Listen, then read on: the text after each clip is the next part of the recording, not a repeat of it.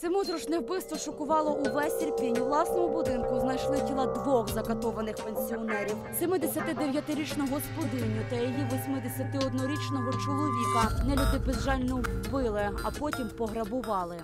Понівечені тіла знайшли квартиранти, які винаймали у подружжя частину будинку. Пенсіонери лежали у різних кімнатах під завалами речей. Картина була неймовірно моторошною, адже господарі були голі, зв'язані та страшенно побиті.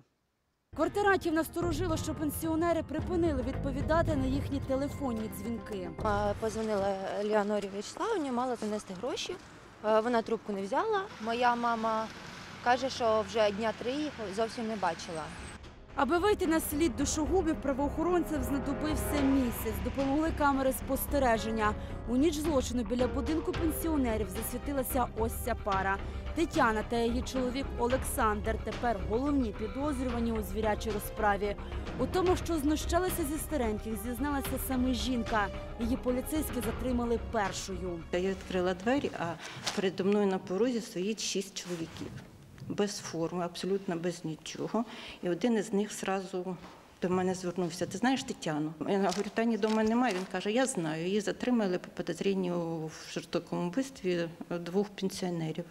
Я була, звичайно, в шоці. Ірпінські Боні Клад вже кілька місяців під арештом. На суді у скляній клітці вони теж разом. Слідчим ще на початку розповіли, що катували пенсіонерів цілу годину, а потім убили заради трьох з половиною тисяч доларів. Частину грошей віддали за борги, а решту залишили собі. Але зараз від усіх своїх зізнань затримані відмовляються. Чому ж тоді взяли на себе такий страшний злочин? Поки що пара пояснювати не бажає.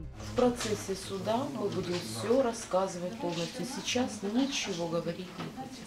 Рідні не вірять, що Тетяна і Олександр здатні на таку нелюдську жорстокість. Кажуть, убита жінка була дуже відомою у Ірпені, і багато хто знав, що вдома вона зберігає кругленьку суму грошей. Брат їх не знав, а потім вияснилось, що це знайома Таніної мами.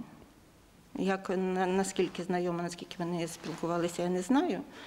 Але ця людина дуже відома в Ірпіні була, так як про неї багато говорили. Вона займалася ріелторством, купляла, продавала квартири. До того ж, переконує, що сім'я мала грандіозні плани на майбутнє. Хотіла переїхати жити у Польщу та допомагати сину, який лише нещодавно розпочав там власний бізнес. Чи були у них мотиви вбивати, вирішуватиме суд.